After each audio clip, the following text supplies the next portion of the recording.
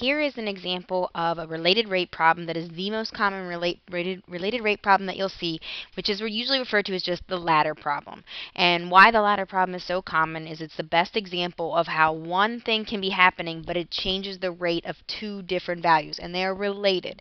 When you start a ladder problem, when you start any word problem, the best thing to do is start with a picture. And it doesn't have to be a work of art. You do not have to be a good artist to do these problems. When I draw a ladder problem, I draw a right triangle, keeping in mind that the hypotenuse is representing your ladder. And then you have the wall and the ground. What's happening is the ladder doesn't change. It always is 20 foot of 20 foot ladder.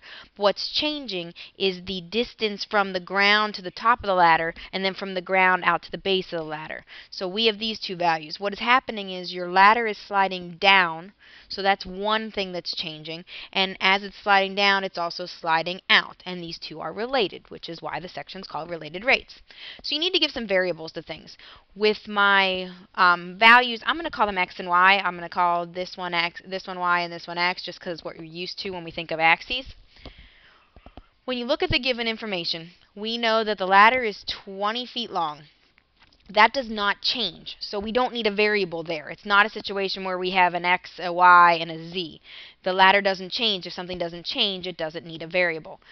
What I know is that the ladder is sliding down a wall at a rate of 5 feet per second. So that is telling me how y is changing. So I am going to call that dy dt.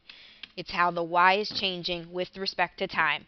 And it is actually negative 5 it's actually negative for a couple reasons. It's sliding down is one way to think of it, but also that distance is getting smaller. The distance between the top of the ladder and the wall is decreasing. So we have that negative value for its derivative.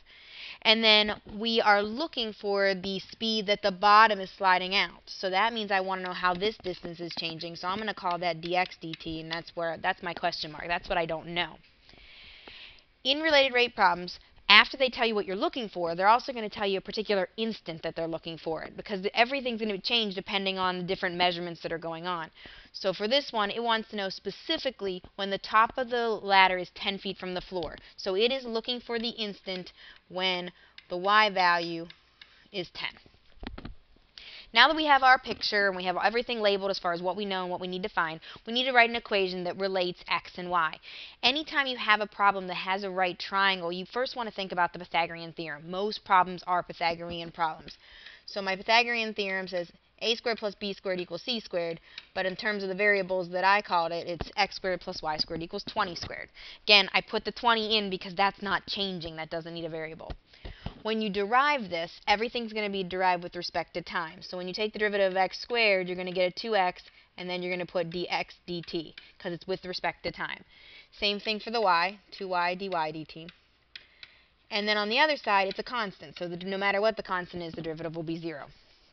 One thing just to make the process a little faster with entering your calculator, everything is divisible by 2, so you can go ahead and cancel the 2's right away. You could divide all three terms by 2. Now we want to plug in what we know we know that dy dt is negative 5, so I can put a negative 5 here. And we also know that y is 10 is the instant I'm looking for, so I can put a 10 there. dx dt is what I'm looking for, so I won't be able to replace that. That's what I'm solving for. The last thing that I need to plug in is x. You have enough information to find x because you want to think about the instant that you're working with. If you kind of think of a triangle, I'll draw a little picture down here, this is 20 and this is 10. At that instant, we can figure out what x is by using the Pythagorean theorem again. It would be the square root of 20 squared minus 10 squared which you can do on your calculator, you can do it in your head, it's 400 minus 100. You get the square root of 300. If you want to work with it as a decimal, that's fine. The only danger in working with a decimal is then you have to be careful that you don't round. You save that value. So I think it's a lot easier just to keep it as square root of 300. You don't need to simplify the radical in any way. So I'm going to put that here. Now I want to solve for dx dt. So this is going to be a negative 50, so I'm going to add 50 to both sides. So I'm going to get the square root of 300 dx dt equals 50 divide by the square root of 300. here's when you actually will go to your calculator because you're ready to finish the problem. So you're going to figure out what 50 divided by the square root of 300 is.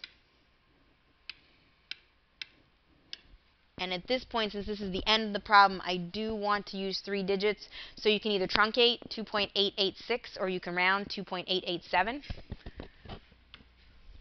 And that is your final answer to this problem. So we would write that, I'll write it at the top, dx dt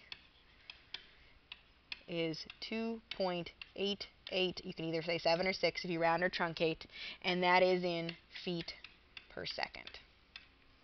You'll notice that it's positive. The biggest reason it's positive here is that distance is increasing. The base of the of the ladder is going away from the wall, so that that rate, that measurement is increasing. It's getting larger, which is why you have a positive. You can also think by the way we drew it that it's to the right, but we won't really care right or left here, especially when they're talking about speed and not velocity.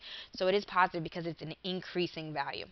And that is how you do a related rate problem with the ladder, and many other problems that don't use ladders have very similar techniques.